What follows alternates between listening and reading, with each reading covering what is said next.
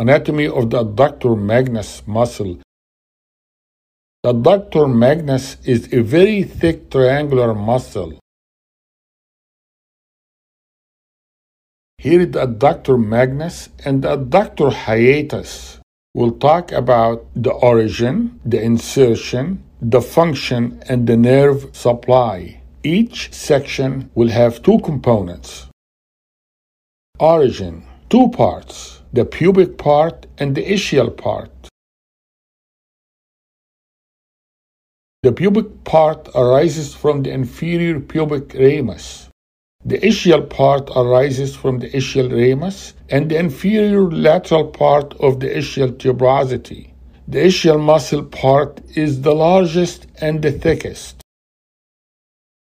The ischial part is close to the hamstring muscles and it acts like the hamstrings.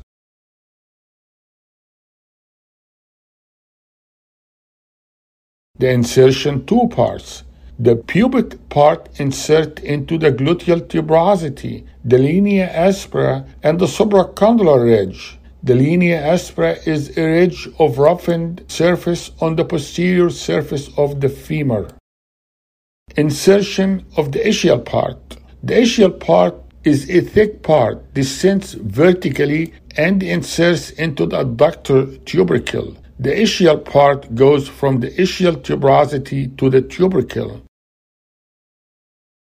Nerve supply, two parts. The adductor magnus muscle is located within the medial compartment of the thigh.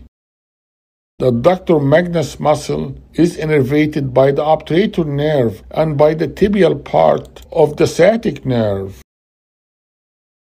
The pubic part is the adductor part supplied by the posterior division of the obturator nerve. The hamstring part of the ischial part is supplied by the tibial nerve.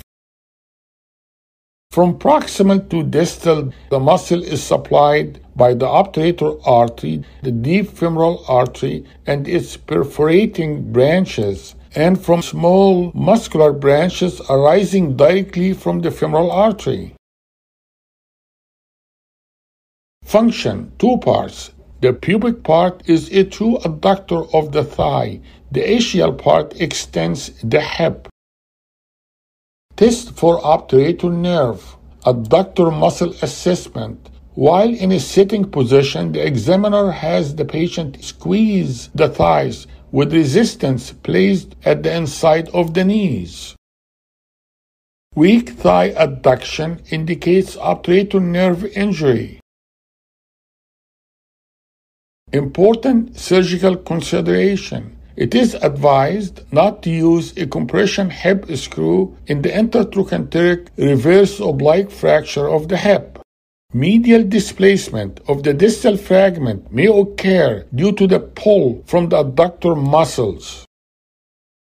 Strong pull and displacement of the distal femur fracture fragment by the adductor muscle occurs in subtrochanteric fractures adductor myodesis. Adductor myodesis is the critical part of the transfemoral amputation. If it is not performed, the abductor and hip flexors can cause the femur to abduct, leading to severe problems with gait. Adductor myodesis improves the clinical outcome, provides soft tissue envelope that helps in prosthetic fitting, it improves position of the femur. It allows more efficient ambulation. The adductor magnus muscle is four times larger than the longus and brevis. Above knee amputation could result in 70% loss of adduction moment. For maximum prosthetic control after distal transfemoral amputation, Myodesis should be done and the residual limb maintained in a slight adduction. That's usually a test question. Thank you very much. I hope that was helpful.